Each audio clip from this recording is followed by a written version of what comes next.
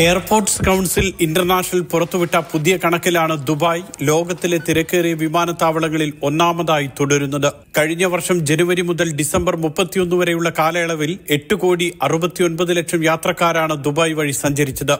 തൊട്ട് മുൻവർഷത്തെ അപേക്ഷിച്ച് മുപ്പത്തിയൊന്ന് ദശാംശം ഏഴ് ശതമാനത്തിന്റെ വർധന ദുബായിലൂടെയുള്ള യാത്രക്കാരുടെ എണ്ണത്തിലുണ്ടായി.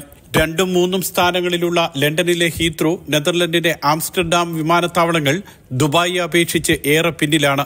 ദശലക്ഷത്തിലധികം യാത്രക്കാരുടെ വ്യത്യാസം ദുബായും ഹീത്രൂ വിമാനത്താവളവും തമ്മിലുണ്ട്. ദുബായ് വഴി എട്ട് കോടി അറുപത്തിയൊൻപത് ലക്ഷത്തി തൊണ്ണൂറ്റിനാലായിരത്തി മുന്നൂറ്റി അറുപത്തി അഞ്ച് പേർ യാത്ര ചെയ്തപ്പോൾ ഹീത്രൂ വഴി ഏഴ് കോടി നാൽപ്പത്തി ഒൻപത് ലക്ഷത്തി ഒൻപതിനായിരത്തി പത്തൊൻപത് പേരും ആംസ്റ്റർഡാം വഴി ആറ് കോടി പതിനെട്ട് ലക്ഷത്തി എൺപത്തിരണ്ടായിരത്തി അഞ്ഞൂറ്റി നാൽപ്പത്തി ആറ് പേരുമാണ് സഞ്ചരിച്ചത്. പാരീസ് സിംഗപ്പൂർ ഇസ്താംബുൾ വിമാനത്താവളങ്ങളാണ് പട്ടികയിൽ പിന്നീട് വരുന്നത്. ദുബായ് വിമാനത്താവളത്തിന് ഏറെ അഭിമാനകരമായ വാർത്തയെന്നാണ് ഇതേക്കുറിച്ച് വിമാനത്താവള സിഇഒ പോൾ ഗ്രിഫ്റ്റ് പ്രതികരിച്ചത്.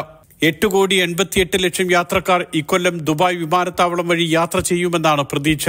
അടുത്ത വർഷമാകുമ്പോഴേക്കും ഇത് ഒൻപത് കോടി മുപ്പത്തിയെട്ട് ലക്ഷമായി കുതിച്ചുയരും. Mathrubhumi news Dubai.